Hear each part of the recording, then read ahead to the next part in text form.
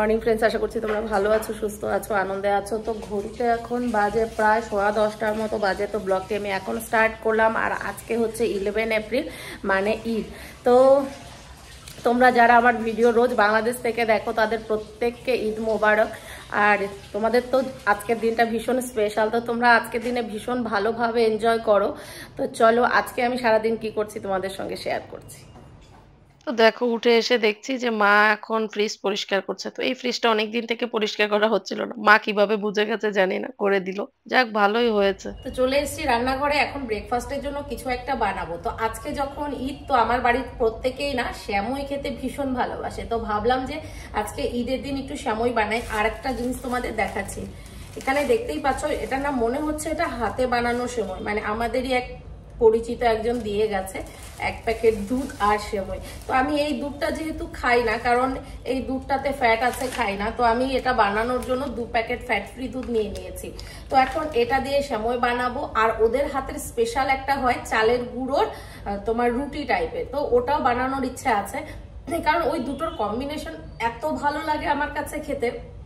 তোমরা যারা বাংলাদেশ থেকে দেখছ, তারা জানো যে তোমরা তো খাওয়াই প্রত্যেকে, আমার না গলাটা বসে গেছে। তো ওই রুটিটার টেস্ট তো একদম মানে এত সুন্দর, কিন্তু আমি কখনো ট্রাই করিনি। তো ওই রুটিটা বানানো আমি কখনো ট্রাই করিনি, মা ভালো পারে। আর জানো, এই গলার জন্য না আমি ঠিকমতো ব্লগ ভিডিও করছি না। মানে আমি যা কথা বলব না, আমার সেই শক্তিটাই আমার আসে না, খালি কাশি আসে।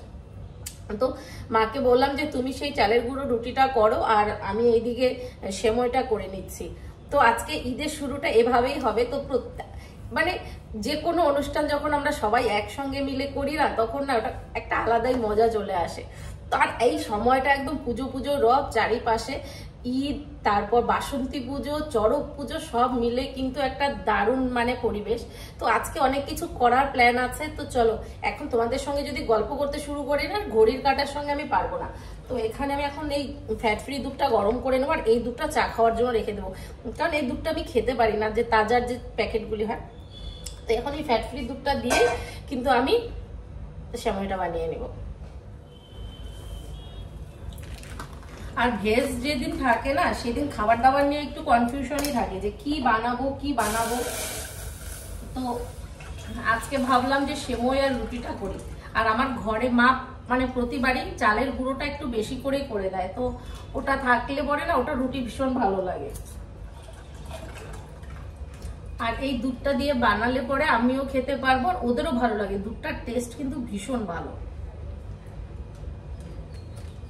আর তোমরা দেখতেই পাচ্ছ, এখানে মা কি করেছে? চালের গুঁড়ো আর সামান্য একটু ময়দা মিশিয়ে নিয়ে দুধ দিয়ে ওটা মেখে নিচ্ছে। আর আমি এইদিকে দুধ গরমও বসিয়ে দিয়েছি আর সময়টাকে হালকা অল্প ঘি দিয়ে ভেজে নিচ্ছি, কারণ এটাকে ভালো করে ভাজতে হবে। আর এই সময়টা না একটু মোটা ধরনের, যেহেতু এটা বাড়িতে বানানো, তো এটাকে না খুব কম আছে, ভালো করে ভেজে নিতে হবে। আর এখানে দুধও গরম হয়ে যাবে, তখন তাড়াতাড়ি হয়ে যাবে। আর এইদিকে কিন্তু মার পুরো দেখো মাখাটা সুন্দর আর গুলি গুলি মনে হচ্ছে না, আটা দিয়ে বানিয়েছে, খুবই ভালো হয়েছে দেখতে। তো চলো এগুলিকে ফটাফট বানিয়ে নিই, কারণ সকালে তো খাওয়ার সময় হয়ে গেছে।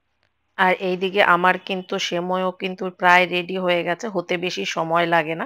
সেময় জিনিসটা না খুব ফাস্ট করা যায় মানে বসিয়ে দিলেই তাড়াতাড়ি হয়ে যায়। তো সেময়টা প্রায় হবার দিকে আমি আরেক সাইডে এখন রুটিটাও বানিয়ে নেব, মা এদিকে বেলে দিচ্ছে। আর সেময়টার মধ্যে আমি নামানোর আগে একটু এলাচ দিয়ে দিয়েছি। তোমরা চাইলে ড্রাই ফ্রুটসও ইউজ করতে পারো। তো রুটি আর সেময় দেখতে পাচ্ছ আমার দুটোই কমপ্লিট তো সকালের খাবার কিন্তু আজকে জমে যাবে। এরকম এক একটা অনুষ্ঠানে আমরা কিন্তু বেশ ভালো মতো এই দিনগুলিতে খাওয়া দাওয়া করতে পারি। তো আমরা সবাই ভালোবাসি। তো এখন ওরা খেতে বসে গেছে, তো ওদেরকে এখন সেময় দিয়ে গরম গরম রুটি দিয়ে দিই। আর এই রুটিটা না গরম গরমই খেতে ভালো লাগে। তোমরা যখন খাবে, ঠিক তখনই ভাজবে, দেখবে রুটিটার টেস্ট কি দারুণ হয়। তো চলো, সবাইকে খেতে দিয়ে দিচ্ছি, পরে তোমাদের সঙ্গে আবার কথা বলছি।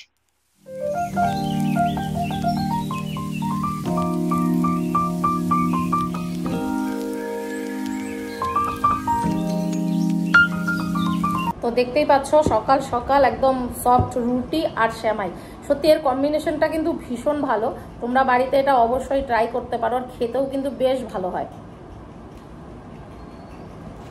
তো এখানে আমি ভাত নামিয়ে নিয়েছি আর পনিরটাকে কেটে নিয়েছি, এখনই বানাবো। আর এখানে শাকও রেডি হয়ে গেছে। আজকে দু ধরনের শাক বানাবো আর একটু চা বানিয়ে নিচ্ছি। তো আজকে ভেজ, তো আজকে এসবই রান্না করব, দেখতেই পাচ্ছ সব কিছু তো চলো তোমাদের সঙ্গে পরে কথা বলে রান্নাটাও কমপ্লিট করি। খাওয়া দাওয়া করে একটু ঘুম দিয়েছিলাম মানে এরকম ঘুমিয়ে গেছে, সন্ধ্যা লেগে গেছে, বুঝতেই পারিনি। তো এখন উঠলাম মানে বিছানা থেকে উঠতে ইচ্ছে করছে না, আজকে এত শরীরটা টায়ার্ড ছিল না মানে কি বলব?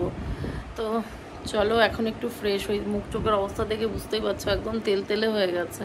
তো এখন একটু ফ্রেশ হই ফ্রেশ হয়ে নিয়ে বাইরে যাব। তো চলো, আজকে সন্ধ্যের থেকে কি কি করছি শেয়ার করছি। আজকে বাইরে যাওয়ার প্ল্যান আছে, তো চলো। দেখতেই পাচ্ছ আজকে একদম শাড়ি ঠাড়ি পরে রেডি কারণ ঈদের দিন তো ভাবলাম যে একটু রেডি হয়নি কিন্তু আমার এই গ্লাসের মধ্যে না একদম কালো কালো আসে কি কারণে আমি বুঝতে পারি না। তো চলো এখন বেরিয়ে যাচ্ছি পরে তোমাদের সঙ্গে আবার কথা তো দেখতেই পাচ্ছ স্টাইল বাজারে পৌঁছে গেছি আর আজকের ভিড় দেখে না মানে আমার সত্যি আমি কি বোকা আমি কাজ করেছি সেটা বুঝতে পারছি। তো এসে কিছু নাইটি দেখছিলাম মা বলে দিয়েছিল যে কিছু নাইটি নিয়ে আসিস কিন্তু নাইটিগুলো এত ভারী ছিল না একটাও পছন্দ করতে পারছিলাম না। তো এখন একটু আয়নায় নিজেকে দেখে নিচ্ছিলাম কারণ স্টাইল বাজারে আসব, নিজেকে একবার আয়নায় দেখব না, এটা হয় না, এটা আমার অভ্যেস। তো এখন ছেলের জন্য একটি ড্রেস নিব মানে ও অনেকক্ষণ থেকে দেখছিল, কিন্তু শার্টগুলি ভালো ছিল না, তো পাঞ্জাবি নিলাম। ওর সামনে ওর ফ্রেন্ডের বিয়ে আছে তো তাই। তো চলো বাড়ি ফিরে যাচ্ছি। তো দেখতেই পাচ্ছ, বাড়ি ফিরে ফ্রেশ হয়ে গেছি, আর এসে আগে খাওয়া দাওয়া শেষ করলাম, কারণ অনেকটাই রাত হয়ে গেছিল আজকে বাইরে থেকে আসতে। তো আজকের এই ছোট্ট ভিডিওটি তোমাদের কাছে কেমন লেগেছে তোমরা কিন্তু অবশ্যই জানাবে, আর আশা করছি যে তোমরা ঈদ অনেক ভালো এনজয় করেছ। তো চলো আজকের ভিডিওটি এখানেই শেষ করছি, tata, bye bye good night